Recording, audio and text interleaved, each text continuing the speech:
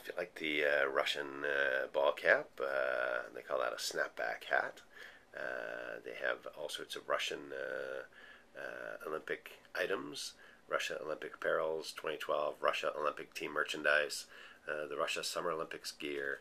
Um, I'll just give you a quick look here. You can see the like this CCCP. That might be a, a vintage kind of one.